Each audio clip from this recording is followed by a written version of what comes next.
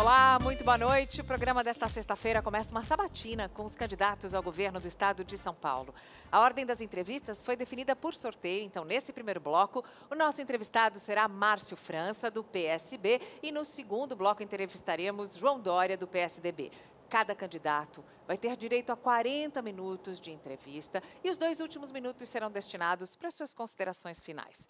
É, o candidato não vai poder ultrapassar esse tempo que já foi determinado, porque senão os microfones serão cortados, a entrevista vai ser encerrada. Me acompanham nessa sabatina, muito à vontade, os jornalistas Boris Casoy, Amanda Klein e Mauro Talhaferre. Muito obrigada pela presença. A nossa entrevista com o Márcio França começa agora.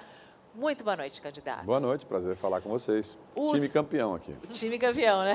É, o São Paulo, o São Paulo. Está falando de time, Paulo já campeão, fui para futebol. É. Pronto, olha o ato falho. Só para deixar bem claro que eu não vou meter nesse negócio. O estado de São Paulo é o estado mais rico do país, é também o mais populoso, é o que contribui com mais de 30% do PIB nacional. E a gente está diante de um segundo turno nas eleições aqui para o governo do Estado, mas também um segundo turno é, presidencial que está uh, polarizado entre dois candidatos com muita rejeição, um discurso quase agressivo para o Estado de São Paulo, para o paulista, uh, para um eventual seu governo. O que seria melhor que ou tivesse em Brasília? Qual cenário seria melhor, mais favorável? Olha, eu lutei desde o início para que meu partido ficasse neutro, né? porque nós não tínhamos candidato a presidente da República. É, Joaquim Barbosa filiou, depois não quis ser candidato. Como vocês sabem, o Eduardo Campos faleceu num acidente de avião, que era a nossa grande esperança. Né? Nós fizemos tanto esforço para o Eduardo, jovem, brilhante, enfim, ser candidato. Ele veio a falecer. Então, nós não tínhamos um nome preparado para isso. Né? E depois eu defendi que nós apoiássemos o Alckmin. Achava que ele era a pessoa mais ponderada para um exercício de uma função tão difícil que vai ser agora presidente da República. Não consegui fazer isso e também evitei que eles fossem com o PT, porque o meu partido queria ir com o PT para poder acertar uma situação nacional, enfim. É, já não é a primeira vez que acontece isso. Em outras oportunidades, quando o Lula foi candidato, da, primeira, da segunda vez, candidato à reeleição, é, a gente colocou a posição de São Paulo e ela tem peso e a gente conseguiu naquela época que o partido fosse neutro, né? naquela reeleição do Lula, que ele estava muito bem, enfim. Então, assim, é, eu acho que São Paulo vai ter uma tarefa muito importante agora, que é poder, talvez, unificar, unir o Brasil. Eu lembro a todos que a 1 de janeiro desse, do ano que vem, nós vamos ter um novo presidente da República. É, seja lá como for, é, ele será presidente de todos. E não faz diferença né? para São Paulo ser um ou ser outro? Sinceramente, é, não é que não faça diferença, né? é que eu não tenho afinidade com ambos, né? não tenho relação pessoal com nenhum dos dois. É, é, tenho alguma convivência porque vivi com o Jair Bolsonaro no período que fui deputado. Ele é casado atualmente com uma moça que foi é, assessora de um parlamentar do meu partido, então criei alguma convivência ali. E, mas não tenho relação. Eu tive com o Haddad duas vezes. Ele, enfim, uma pessoa é, culta. Né? Eu acho que ele não lembra muito o jeito do PT. Né? Ele tem um jeito assim meio, parece um pouco tucano até, né? o jeito dele. E acho que o povo de São Paulo já decidiu, de São Paulo. Ele, ele queria um não PT, não PSDB. Né? Foi isso que ele votou. E, de alguma forma, foi assim que ele se expressou. E imagino que o ideal seria que a gente pudesse, a partir de São Paulo, voltar a orientar o Brasil a unificar. Eu lembro que aqui em São Paulo, em 500 anos de história praticamente de Brasil, a gente fez a, o tamanho de São, do Brasil a partir de São Paulo sem muitas guerras. Uh, Zé Bonifácio fez a independência, a gente conseguiu produzir sem guerra, a, depois a República, enfim. Quer dizer, cada passagem importante do Brasil partiu de orientações de São Paulo. E eu espero que a gente faça isso, porque não acho que seja uma boa aposta a gente apostar depois em, em assim, em inimizades para sempre. É, não né? do corduco. Eu tenho, eu tenho mais de 30 anos de vida pública e eu não tenho um único inimigo que tenha feito.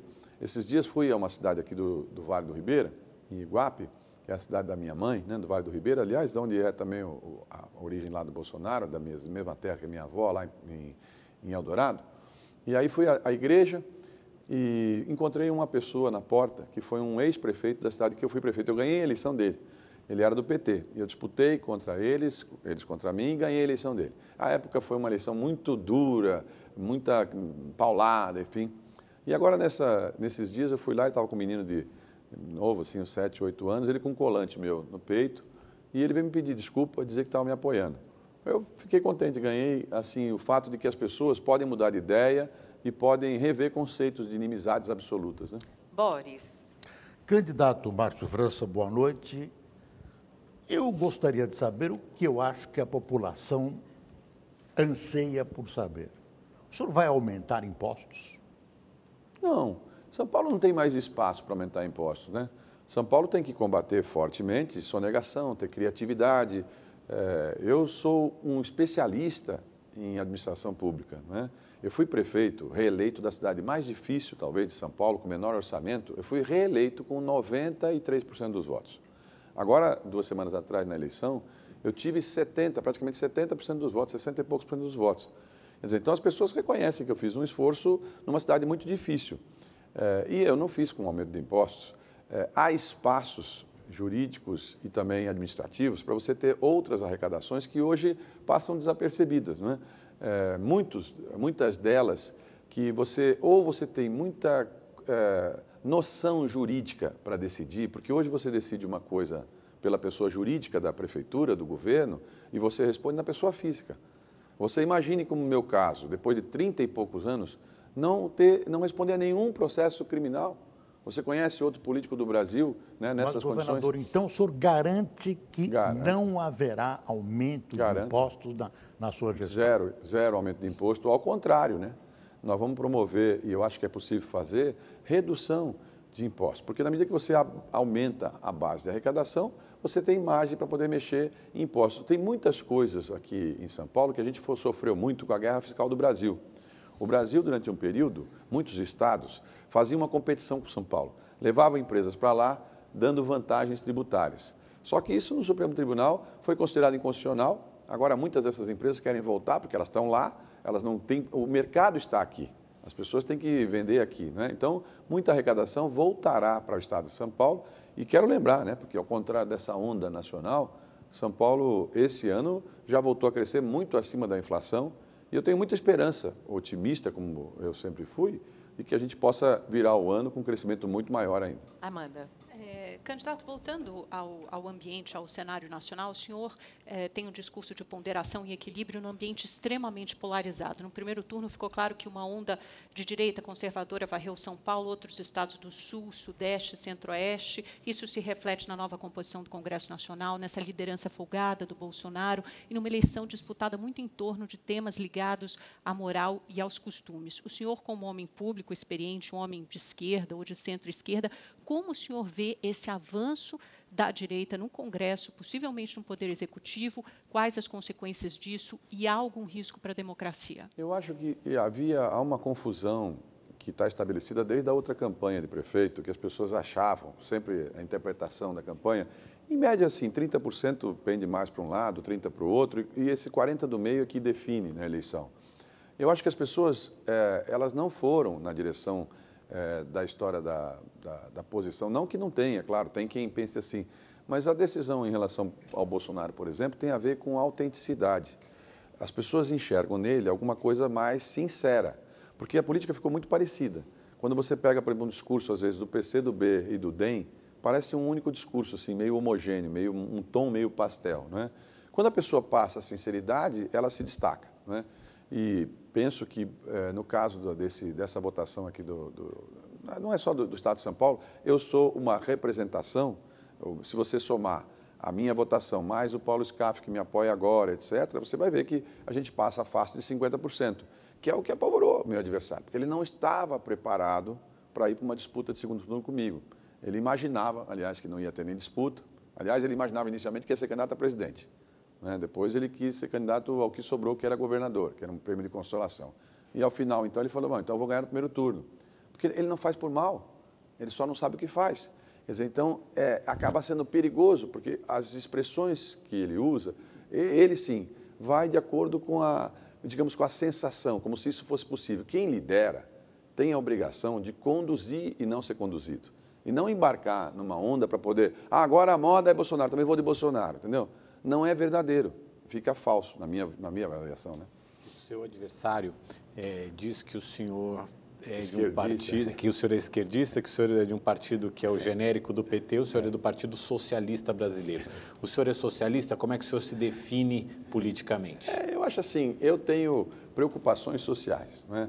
Se garantir para os jovens oportunidade é, ser socialista, eu quero garantir para os jovens oportunidade. Eu acho uma injustiça a gente não permitir que a nossa juventude de 16, 17, 18 anos tenha uma primeira chance.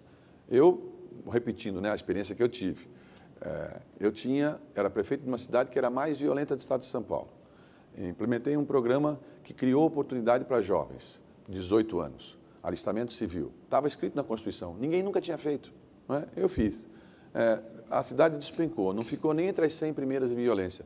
Morriam, Boris, é, todos os anos, de 15 a 20 rapazes em conflito com a polícia armados. Durante 10 anos não morreu nenhum. Mas não pode ser coincidência. Esse tá alistamento civil é aquela guardinha? É, não é, é guardinha, né? Um alistamento a guardinha civil. de antigamente? Não, não, porque são jo jovens de 18 anos, né? Eles trabalham conosco quatro horas por dia, eles usam uniformes, eles não fazem serviços internos, né? Eles são obrigados a fazer um curso técnico e, e, e, ao mesmo tempo, são obrigados a voltar a estudar. Ganham vale transporte e ganham 500 reais por mês. Veja, 500 reais. Quanto custa isso? É, orçamento? Custa mil, mil reais por menino, mil mas, reais por mas moça. Mas o orçamento é, total, o valor olha, total Nós vamos fazer 80 mil em São Paulo. É o tamanho da Polícia Militar. Governador, o, o senhor está falando em segurança pública e eu quero fazer uma colocação sobre segurança pública. Sim. A Polícia de São Paulo é a menos pior polícia do Brasil. No entanto, o número de casos resolvidos, por exemplo, de homicídios dolosos, é muito pequeno. É verdade. Por volta de 6%. Quer é dizer, verdade. de cada 100 casos, 6% mais ou menos são resolvidos. Isso é um horror em comparação ao que acontece em outros países. Eu pergunto ao senhor: nós temos duas polícias, uma civil e uma militar. Não, não está na hora de unificarmos essas polícias que vivem competindo entre si, brigando e se trombando? Ah, o seu diagnóstico está bem feito. Né? A solução é que eu proponho diferente. Mas só para não ficar sem finalizar no caso do alistamento, quero lembrar, não é? Esse programa todo vai custar 80 milhões de reais por mês, que dá 960 milhões por ano. Para vocês terem uma ideia, a Fundação Casa tem 8.500 rapazes lá dentro. Cada rapaz custa 11.530 reais por mês. O custo disso no final do ano é um bilhão de reais. Ou seja, se você evita a causa, você, claro, suprime o efeito. Né? Então, com relação à questão da polícia, eu desde o começo fiz uma defesa, e aí você tem razão, essa tentativa de tentar... A Polícia Civil ela é muito menor que a Polícia Militar. A Polícia Militar, e aí voltando à tua resposta lá sobre socialista, enfim, eu fiz homenagens aos policiais militares, uma delas, inclusive, a moça acabou se elegendo depois deputada, enfim, quando ela reagiu a um assalto na porta de uma escola, eu tenho prestigiado os policiais, tenho ido a todos os enterros dos policiais que morrem em serviço para demonstrar para eles que o Estado está com eles. Porque o policial militar, ele anda fardado, a farda que ele usa é uma extensão do próprio Estado, ele fica exposto. Ele tem essa exposição. E é claro, ele tem uma série de proibições porque ele é policial militar. Então, ele é muito maior, tem um orçamento muito maior e dentro da Secretaria de Segurança está a Polícia Civil. Eu defendo que a Polícia Civil esteja em outro local, esteja com orçamento próprio. Ela hoje, é, ela precisaria ter um orçamento para se equivaler, por exemplo, ao que tem hoje na Polícia Federal. Uh. A Polícia Federal hoje é, é, tem um prestígio pessoal, as pessoas se sentem... Você vai separar mais ainda Vou separar, não, vou separar Elas não conseguem, elas nem se comunicam não, por rádio, Não, não elas não têm, elas não têm, elas não são competitivas. Uma é polícia judiciária, ela faz a investigação, ela tem que ir se aproximar do que você falou, da investigação. O que ela não precisa é fazer o movimento da polícia militar. Quer dizer, eles não precisam andar uniformizados, eles têm que fazer a investigação adequada. Se eles só conseguem resolver 6%, não está bom. O né? mundo não resolveu assim. O mundo tem polícia única, não. chefiada por uma única pessoa. Não, mas, mas, o mundo, é, claro, um dia nós vamos estar no padrão do mundo que você gostaria, eu também.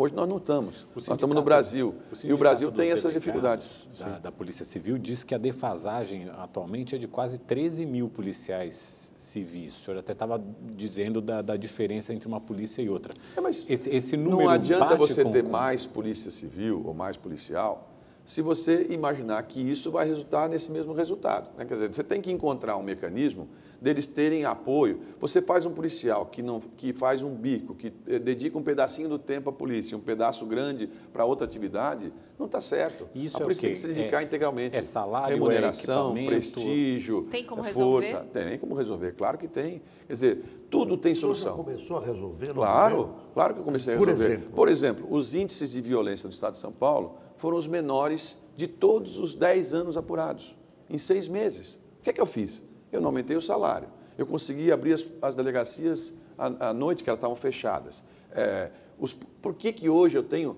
95% eh, de aprovação e de intenção de voto dos policiais? Os- o PSDB que governa São Paulo tinha 99% contra. O sujeito, hoje eu vi agora há pouco uma publicação de um rapaz, o cara falou, olha, é impossível um policial votar no 45 no PSDB, é impossível em Mas São o, Paulo. o senhor também tem uma vice, que é coronel da PM, e Tenho. perdeu e, e Eliane prometeu, uma é, prometeu uma reposição salarial de 25%. E eu acho disse super que, correto. que existe uma desatualização de 25% E é verdade, não é só os últimos policiais, né? três anos. É. Porque o que aconteceu aqui em São Paulo, para vocês entenderem? O governador, eh, durante aquele período da crise, muitos estados, vocês se lembram, sequer pagaram salário, atrasaram o 13 terceiro, fecharam faculdades. Aqui o que ele fez? Segurou. Quando segurou, todo mundo defasou. Não é só policial, o professor também defasou. E é evidente que você tem que recompor, Mas, mas como é que, a economia como é que o senhor pretende fazer isso? Qual é o prazo? Mas Qual será o nos impacto no orçamento? Anos, veja, por que é que São Paulo tem Diluir- o maior orçamento do país e não tem os servidores mais bem pagos do país? Mas Está tem a maior dívida do país. Não, mas a dívida de São Paulo é a única equacionada. Sim, a gente paga, sabe quanto, sabe quanto a gente paga por mês, Dóis? A gente paga 1 bilhão 360 milhões de reais para a União, todo mês, fielmente, corretamente. Aliás, eu tenho defendido o seguinte, Governador, vocês não estão pagando os precatórios. não, ao contrário. Pou- Nós pagamos rigorosamente. Não, pouquinho. é bom que você falou sobre isso. Olha uma boa solução que quem conhece a administração pública faz. O governador, ex-governador Serra aprovou uma lei no Congresso que permitia você usar um pedaço de um fundo privado que fica depositado no Tribunal de Justiça. Ninguém conseguia tirar esse negócio. Eu fui lá, negociei com o presidente do Tribunal de Justiça, negociamos com o Banco do Brasil, estamos liberando quase 8 bilhões. Para você ter uma ideia, a dívida de São Paulo, ao longo de toda a história, é de 22 bilhões, 21 e pouco. Com esses 8 bilhões, metade nós vamos pagar na ordem cronológica, metade nós estamos pagando por leilão. Quer dizer, quem, tem, eh, quem dá desconto recebe na frente. Eu vou pagar 50% dos precatórios do Estado de São Paulo. Só metade. Agora, sinceramente- Você vai pagar metade. Não, metade, mas, puxa, metade em seis meses é um Ah, fenômeno. você vai pagar em seis É em meses. seis meses. Então, nos quatro anos, o senhor acha que vai pagar todos os Não, precatórios? eu, eu- eu não, eu, não, eu tenho que pagar. Todas as administrações do Brasil, hoje pela legislação, têm que todos completar até 2021. Então, todos nós temos que pagar. Agora, como vão pagar? Por isso que eu digo, eu posso amanhã fazer a apresentação de um programa, sentar aqui, eu me viro e tal, mas é possível que vocês que fazem isso há mais tempo façam melhor. Porque vocês são especialistas nisso, vocês fazem isso, vocês têm tranquilidade de fazer isso. Eu falo, São Paulo não é uma aventura, ela não, não é um estado, é, é um país dentro de um país. né? Nós temos a maior rede universitária do mundo aqui em São Paulo, USP, Unicamp e Unesp. Maior do mundo, não tem na China, não tem na Índia. São Paulo investe mais em, em pesquisa, aqui em São Paulo, ciência e tecnologia, do que a Rússia, do que a Espanha. Né? Quer dizer, São Paulo é, um- é São Paulo. Mas né? Não dá para brincar com aqui- São Paulo. A pesquisa aqui está, por exemplo, o agronômico. O Instituto Agronômico está abandonado. Estava. Teve uma redução de estava, verba de 30%. Estava. Desde que eu fui secretário de Estado, Até ontem- nós pedimos para a FAPESP, aliás, aprovamos, aliás, diga-se de passagem, mérito a quem tem mérito, o governador Alckmin autorizou, nós pegamos 10% do valor da FAPESP, que recebe 1 bilhão e 300 milhões por ano, e é importante que ela tenha esse recurso, que é, não sei se você sabe, quando você compra qualquer coisa, uma caneta, 1% de tudo que você compra vai direto para a pesquisa em São Paulo, para a FAPESP. Nós tiramos 10% desse valor e colocamos direto para os institutos. E está faltando na 130 FAPESP milhões. agora? Não, não está. Ou estava sobrando não tá. antes? Não, veja, ninguém quer abrir mão de recurso. Se você deixar, ninguém quer abrir mão de recurso. Mas exatamente quem administra tem que conhecer disso. Você acha, sinceramente, que uma pessoa que não saiba, uma pessoa superficial, teria coragem de fazer alterações assim? Tem. Ele, ele nem sabe que existe. É isso. Candidato, já que a gente acabou falando um pouco de universidade, de educação, é, no Brasil e também em São Paulo isso se repete, existe uma crise no ensino médio. É É, a- o IDEB aqui de São Paulo, que é o índice que avalia a educação básica, caiu é, é, ligeiramente, está em 3,8, a meta era 4,6. Quer dizer, é- é- qual o diagnóstico que o senhor faz sobre isso e que soluções o senhor apresenta? Acho que na educação você tem alguns desafios. Primeiro desafio, é, creche. Né? Se você não colocar disposição para as mães poderem colocar seus filhos em creches, é, e eu não estou falando uma coisa que, quando eu fui prefeito, havia seis creches. Quando eu saí, tinha 80 creches. Ou seja, nós zeramos fila de creche. Em São Paulo tem que zerar. Nós construímos 300, nós que eu falo, o governador Alckmin, né? nós é, estamos em obras, em mais de 300 nesse instante. E a, a meta é fazer mais mil.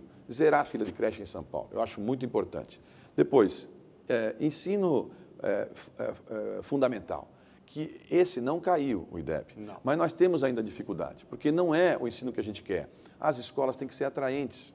As escolas hoje, é, muitas, a sala de aula é a sala de um século atrás. Não tem lousa digital, Nesse não tem sentido, o Wi-Fi. apoio do Paulo Scaff pode ajudar com propostas no setor da Pode, educação? pode, porque ele tem uma experiência muito importante no SESI Senai. Claro que é outro padrão, mas vou voltar ao exemplo do que eu passei.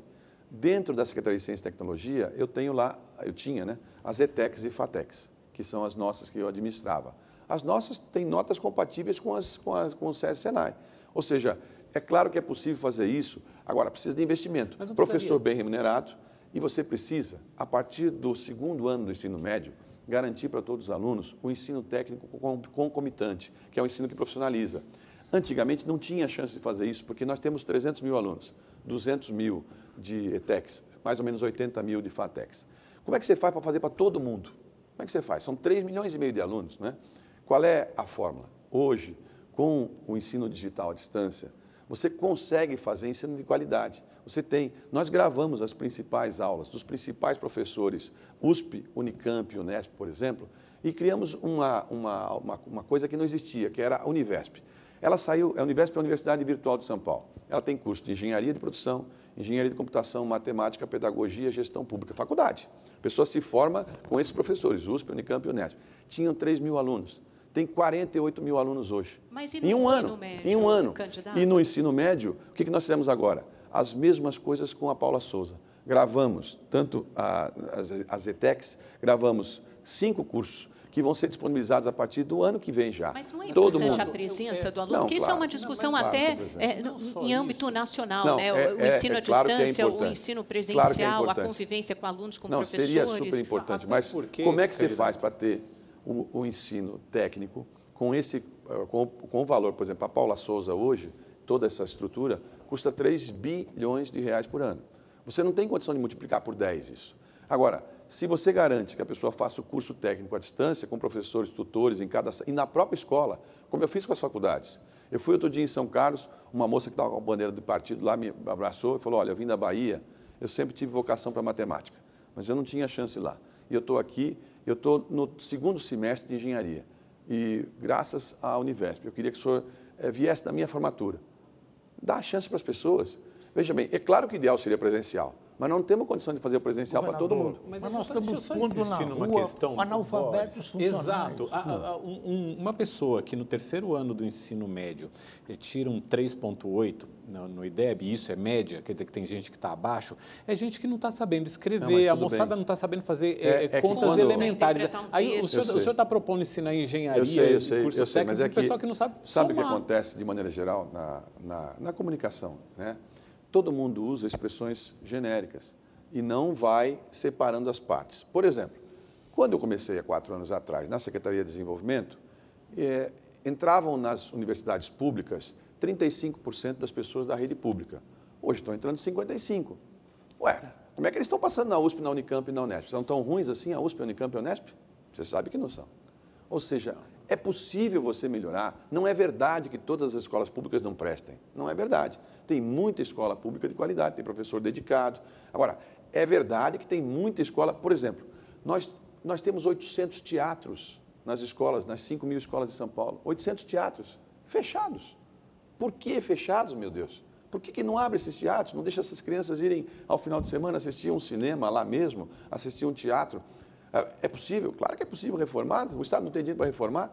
Por exemplo, nós estamos levando agora, não, só nesses meses que eu sou governador, nós estamos levando 300 mil rapazes, estudantes, para cinema e para teatro. Eu acho super importante que eles tenham uma atividade é, cultural. Eu fui na, na, na, minha cidade, olha, na minha cidade, que é litoral de São Paulo, perguntei num grupo grande de pessoas, vocês já foram ao teatro? Eles não tinham ido ao cinema, só 5% tinham ido ao cinema. São pessoas pobres, elas não têm 10 reais, 20 reais. Ora, se o Estado tem esses espaços, por que não usa os espaços? Né? Governador, eu queria fazer uma pergunta política. O senhor é maçom. Eu queria saber até que ponto a maçonaria influi nas suas decisões políticas, ou vai influir em seu possível futuro governo? Olha, os princípios de liberdade, igualdade, fraternidade, né, que norteiam é, as origens da maçonaria, eu há muito tempo não consigo frequentar, porque a vida pública quase não te permite isso. Mas eu sou, é, acho que esses princípios devem nortear sempre qualquer atuação de quem tem vida pública. Liberdade, igualdade e fraternidade. Né? É, acho que é, todas as pessoas de boa, de boa índole deveriam se dedicar à vida pública se elas tivessem vocação. Né? Eu, por exemplo, eu venho de uma família que não tem político. Meu pai foi médico, servidor público. É, não tenho ninguém minha, no meu grupo lá de pessoas de família que fosse político. Eu me dediquei a fazer isso por vocação. É, porque, de verdade, talvez tivessem outras atividades mais fáceis na vida do que essa, né? Assim, do ponto de vista de, de vida pública, de você ficar exposto. Então, eu, eu, os princípios gerais que eu estou lhe dizendo, eu defendo fortemente. Candidato, é, a gente tem aqui em São Paulo uma questão que precisa ser é, discutida e trabalhada e combatida, que é o PCC. O PCC que surgiu dentro do Carandiru, há algumas décadas atrás, mas que ainda hoje atua dentro dos presídios também e que tem uma organização muito forte é, e muito atuante, inclusive na política, até com bons resultados recentemente. É, como o Estado de São Paulo vai combater essa organização criminosa envolvida com tráfico de armas, com tráfico de drogas, com extrema violência e que é, não tem medo e não tem pingo de respeito pelas instituições? Estrangular. Você estrangula qualquer tipo de ação nefasta, ruim, se você tira a fonte de renda. Onde é que está a fonte de renda do PCC? A venda, a venda de tráfico de droga. Os garotos que são cooptados em Por todas as periferias. Chega a droga? Pela, claro, pela, pelas fronteiras. Né? Isso, a gente tem aquela coisa eterna, que o Brasil não produz cocaína, não produz maconha, não tem arma. De onde vem tudo isso? Vem pelas fronteiras. A fronteira do Brasil praticamente não existe, né? fronteira marítima, enfim, não tem um controle. Espero que tenha. Mas, independente disso, se você tirar a fonte de renda, e para você tirar a fonte de renda, é você dar a oportunidade lá atrás, você não deixar que faça. Se você, essa hora, esse momento com 16 anos, 15, 17 anos, quem é um rapaz sabe o que eu estou falando. É uma decisão de vida. Se você é, for cooptado e você quer fazer parte de um grupo, quer se sentir forte, se você for cooptado, você se perde. Olhe, olha o número impressionante. Na minha cidade havia vários presídios, por isso que nós colocamos esse, esse programa no início. Eu fui fazer uma pesquisa com que idade os presos tinham sido presos.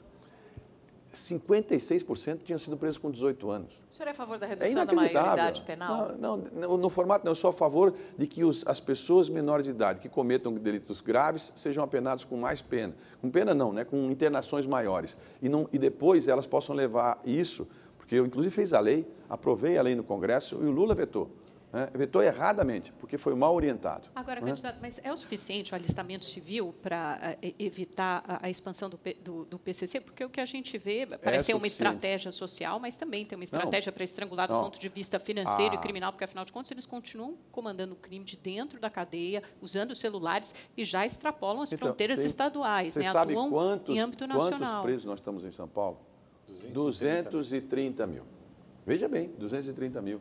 Quer dizer, é, é uma, estrutura que há 20 anos atrás tinha 40 mil presos. Agora está com 230 mil. Nessa proporção, daqui a mais 20 anos vão ter um milhão e meio de presos. Sim, mas... Nós todos vamos trabalhar para poder manter essa estrutura. Alguma coisa está errada. Não é possível que as pessoas não percebam. Esse caminho é um caminho que a gente se equivocou. Nós temos que fazer é endurecer, não tenha dúvida. Eu autorizei que todos os, os, os veículos da polícia com sargentos tivessem com fuzil. É uma cena dura. O sujeito, eu fui outro dia lá, fuzil, pá, o cara tira. Tudo bem.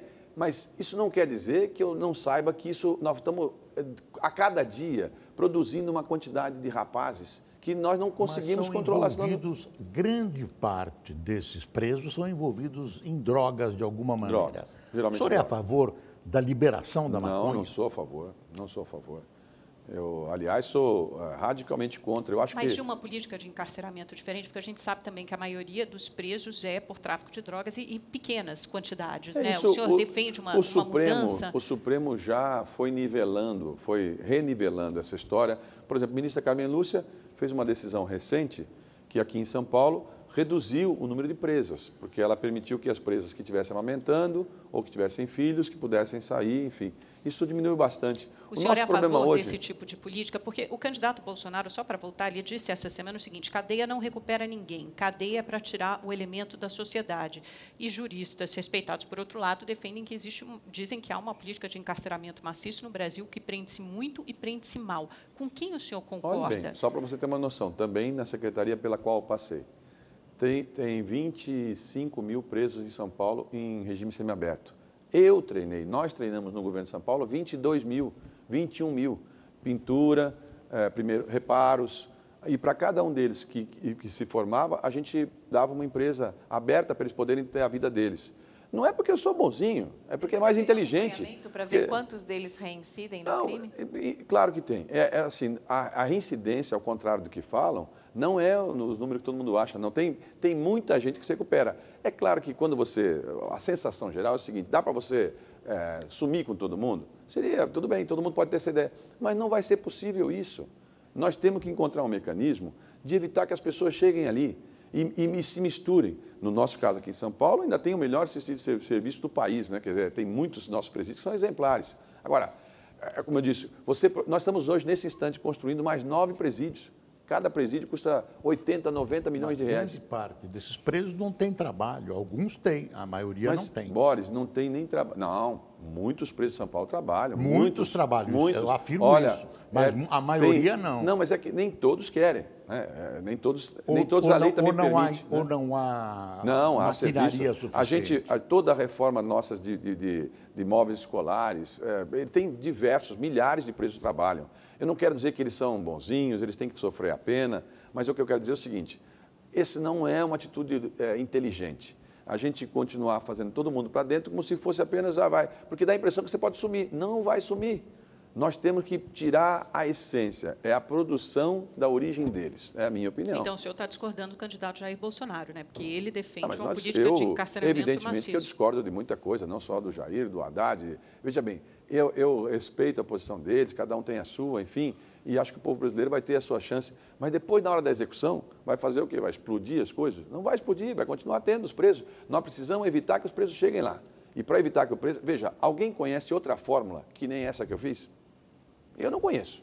A que eu fiz deu resultado. Por que não podemos experimentar uma coisa diferente? não é? Candidato, uma outra preocupação grande do, do brasileiro e do paulista também é a questão do emprego. Como o Estado de São Paulo pode ajudar, como o governo de São Paulo pode ajudar mais na geração de empregos e ajudar as pessoas a saírem dessa crise em que estamos? E, e só por uma questão de justiça, também me lembrando, né, porque a pessoa fala, por que você não começou isso? Nós já começamos. 16 cidades em São Paulo já têm o GEPOI agora. Hoje foi a formatura em Itapetininga, por exemplo. Né? 400 rapazes e moças estão lá se formando hoje. Fui em Juquiá, mais 100. Fui em Carapicuíba, mais mil. Fui não sei onde, mais 500, mais 800, mais mil. Por enquanto são 5 mil. Ano que vem serão 80 mil. Uma das alternativas é essa. Se você põe um rapaz ganhando 500 reais, ele tem uma chance de atravessar essa fronteira. Parece que é pouco, eu sei que para a maioria das pessoas é pouco, mas para ele é bastante. Muda a vida dele. Se ele tiver a chance, ele vence, entendeu? Muita gente precisa. Tem muita gente que precisa. Eu, eu, eu, eu fui numa formatura esse ano, lá em São Vicente. O menino é filho de uma, de uma, de uma moça que era prostituta e foi largado no lixo. No lixo. né? Ele está com a gente hoje lá. Ele vai vencer. né? Como muitos eu vi. Muitos. Governador, o senhor é a favor do aborto, tal como Não, não se sou. propõe? Não, não sou. Eu sou a favor do aborto estar regulamentado na lei. Eu sou é, extremamente cristão e não sou a favor do aborto. É, candidato, é, A gente tem aqui no estado de São Paulo o Rodoanel quase em etapa final já, as obras do metrô, algumas estações entregues recentemente. Quais são as obras de infraestrutura, nessas de grande porte, que serão prioridade no eventual governo? Hoje eu fui lá ver a Tamoios, a maior obra pública do país hoje, né? Uma obra de 2,8 é, bilhões. Cada túnel enorme, estrutura enorme. Duas mil e poucas pessoas trabalhando lá. Uma obra enorme. Para você ter uma ideia, olha que coisa.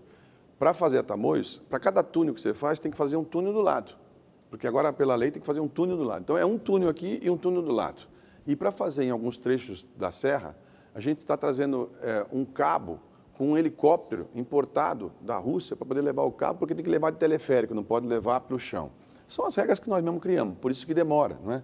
Mas, assim, São Paulo tem que concluir Tamoios, esticar é, a, Carvalho Pinto, que eu acho que é uma obra importante até Aparecida, sair de Pinda e fazer a segunda pista, porque é a única região de São Paulo que não tem.